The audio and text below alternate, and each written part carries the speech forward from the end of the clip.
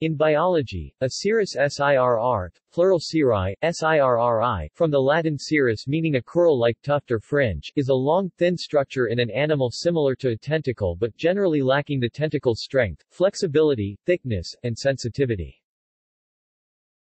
In the sheep liver fluke, for example, the cirrus is the worm's muscular penis and when not in use is retained within a cirrus sac or pouch near the animal.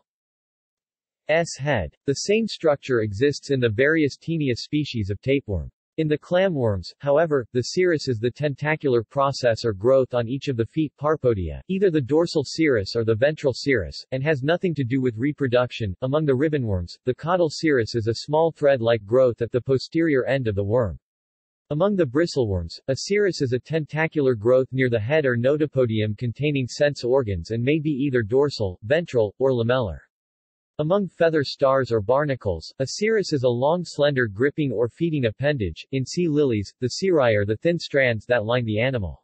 S stock. Among the tube blennies, a cirrus is a long growth extending from above the eye, a supraorbital cirrus, or extending below the neck region, a nuchal cirrus.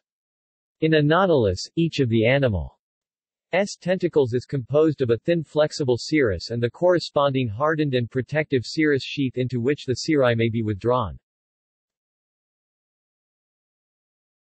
References